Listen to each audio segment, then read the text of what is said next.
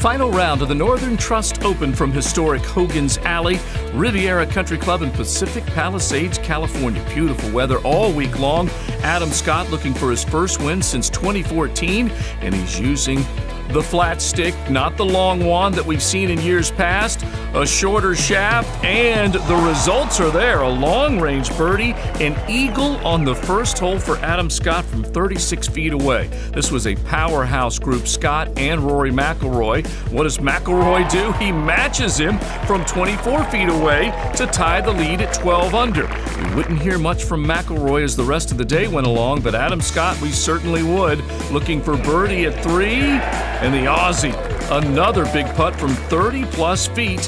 He would tie the lead. Jason Kokrak now, 12 under par, trying to win his first tour event. And Kokrak making a big putt fall from 42 feet away, tying the lead. Adam Scott now, after a birdie at the fourth, looking for more. This at the par three sixth.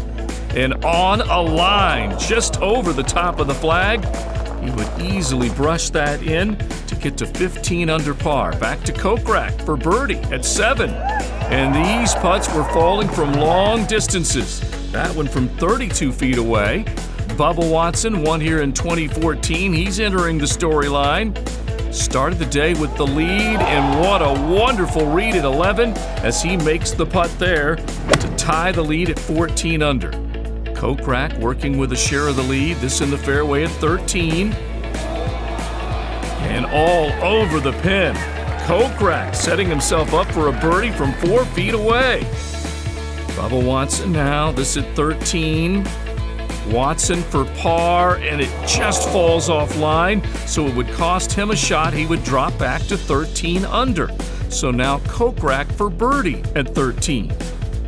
Four and a half feet, and the lead extended to two. Could Kokrak hang on for his first PGA Tour victory? Now for par at 15. This one just inside of eight feet, and it was offline all the way. So he drops the shot, falls back to 14 under. Bubba on the move again. This at the par 3 16th. And he is flighting this right at the pin. Bubba looking at a birdie from inside of seven feet. He would make it.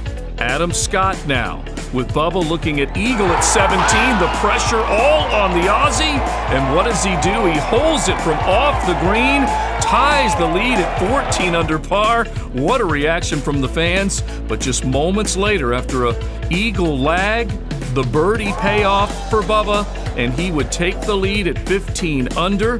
So with that, Adam Scott falling to second, and Bubba Watson his second win in three years' time here at Riviera Country Club.